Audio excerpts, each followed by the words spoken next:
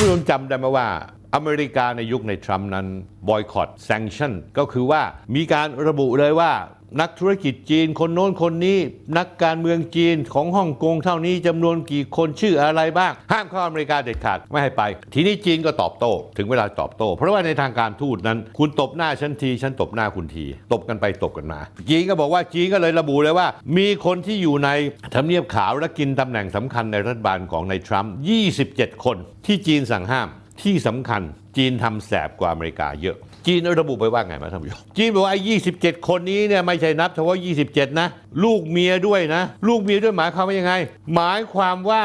ถ้า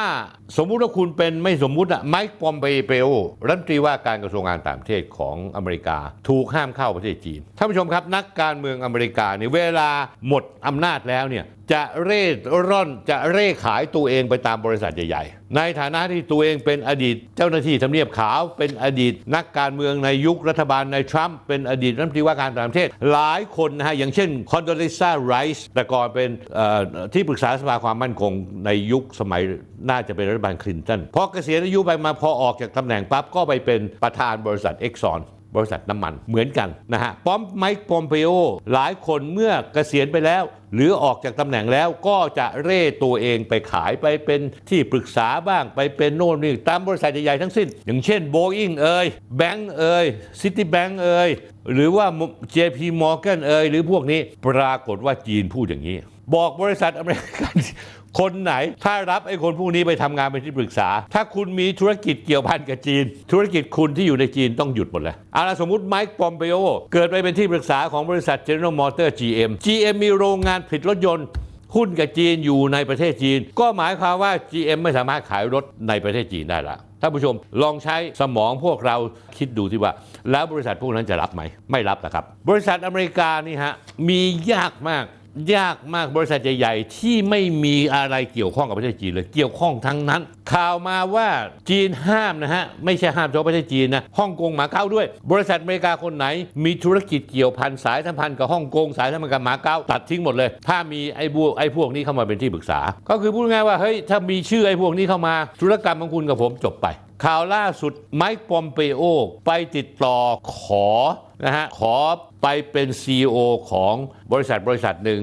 ในเครือของตระกูลคอช KOCH ตระกูลคอชคือตระกูลอะไร เป็นตระกูลที่สนับสนุนให้เงินพรรคริพับลิกัน ให้โดนัลด์ทรัมป์อย่างบ้าเลือดมา คือพูดง่ายว่าตัวเองเป็นริพับลิกันเต็มตัว แต่พอไป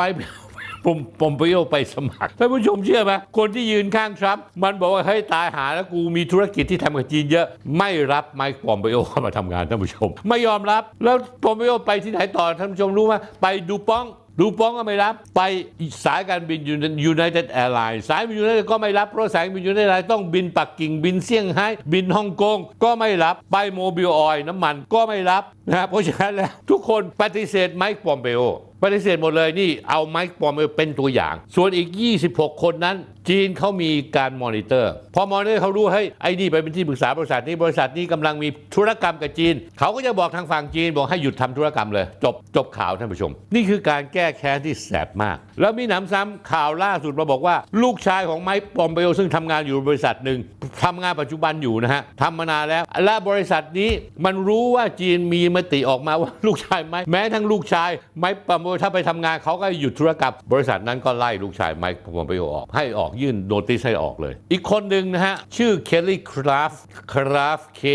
R A F T นางคราฟเนี่ยเป็นทูตอเมริกาที่อยู่ประจำสหประชาชาตินางคราฟนี่หัวรุนแรงมาก จมตีจีนเชียร์ไต้หวันสุดฤทธิ์สุดเดชแล้วนางคราฟถึงกันนะเป็นทูตของอเมริกาอยู่ในสหประชาชาติกำลังวันนั้นกำลังจะนั่งเครื่องบินไปเยือนไต้หวันอย่างเป็นทางการ ก็ปรากฏเผอิญเผอิญกฎของกระทรวงการต่างประเทศพูดชัดเจนว่า ภายในไม่กี่วันก่อนที่ไบเดนจะขึ้นมาเป็นประธานาธิบดีคนใหม่ ห้ามเจ้าหน้าที่ระดับสูงของกระทรวงการต่างประเทศไปเยือน ก็เลยไม่ได้ไปนางคราฟเผอิญมีผัวที่ทำธุรกิจกับจีน ปรากฏว่ามีธุรกรรม 3 ประเภท ที่ผัวกำลังจะเซ็นสัญญาจีน จีนยกเลิกหมดเลย ข่าวว่ามาว่าผัวของนางคราฟกำลังพิจารณาที่จะหย่ากับนางคราฟเพราะว่าถ้ากูขืนแต่งงานกับมึงอยู่นี่ ธุรกิจของบริษัทของผัวตัวเองจะต้องพินาศวอดวายไป ก็เป็นเกร็ดเล็ก ๆ น้อยๆเล่าให้ท่านผู้ชมฟัง อีกเรื่องหนึ่งที่ผมจะต้องต่อให้ฟัง คือเรื่องโคโรนาไวรัสวัคซีนท่านผู้ชมครับ มันมี เครือข่ายเรื่องหนังสือตลอดจนวารสารทางการแพทย์ ที่เน้นในเรื่องการแพทย์ที่ชื่อ Lancet L A N C E T Lancet Lancet เป็นนิตยสารหรือวารสารทางการแพทย์ที่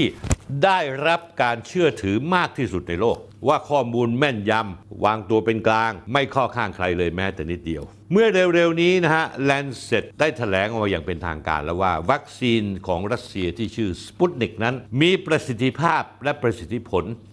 91-90%ขึ้นไป เทียบเท่ากับพวกไฟเซอร์ หรือของทางตะวันตกท่านผู้ชมอย่าลืมนะฮะทางตะวันตกจะใช้วิธีการโฆษณาประชาสัมพันธ์ ว่าวัคซีนของเขาดี ดีกว่าวัคซีนจีนไว้ใจไม่ได้นะฮะซีโนแวคไว้ใจไม่ได้ซีโนฟาร์มไว้ใจไม่ได้ และก็สปุติกวีของรัสเซีย ซึ่งฉีดให้คนรัสเซียไปนานแล้ว ก็ถูกกล่าวหาว่าเนื่องจากการทดลองการทดสอบนั้นไม่ละเอียดแล้วไม่มากพอไม่เอาผลมาให้ นี่คือสงครามทางวัคซีนท่านผู้ชม มาวันนี้ Lancet ซึ่งเป็นวารสารที่ทรงอิทธิพลที่สุดในโลกทางด้านในการแพทย์ ออกมาชี้แจงชัดเจนแล้วนะว่า สปุตนิกวีวัคซีนของรัสเซียนั้น มีคุณภาพเท่าเทียมกับคุณภาพของวัคซีนทางตะวันตกนะฮะไม่ได้แพ้หรือด้อยกว่ากัน วงเล็บอาจจะมากและดีกว่าซะด้วยซ้ำท่านผู้ชม ข้อคิดในเรื่องนี้คือว่าในโลกนี้เนี่ยในขณะนี้ท่านผู้ชมต้องรู้ว่าวัคซีนกลายเป็นธุรกิจที่ใหญ่ที่สุดในโลกแล้วทางตะวันตกพยายามยึดครองหัวหาดในการที่จะเข้าไปรุกแล้วก็ไปยึดพื้นที่ ท่านผู้ชมลองนึกดูสิว่า ถ้าขายวัคซีนได้ประมาณ 3,000 ล้านโดส โดสหนึ่งราคาเท่าไหร่ หมายถึงความร่ำรวยมหาศาลที่จะออกไปให้กับบริษัทเช่นไฟเซอร์ หรือโมเดอร์นานะฮะหรือหลาย ๆ บริษัททางตะวันตก ซึ่งพัฒนาวัคซีนไปในเชิงพาณิชย์นะฮะไม่เหมือนกับแอสตรานะฮะเซเนกาที่ระบุชัดเจนว่าไม่ได้หวังผลกำไร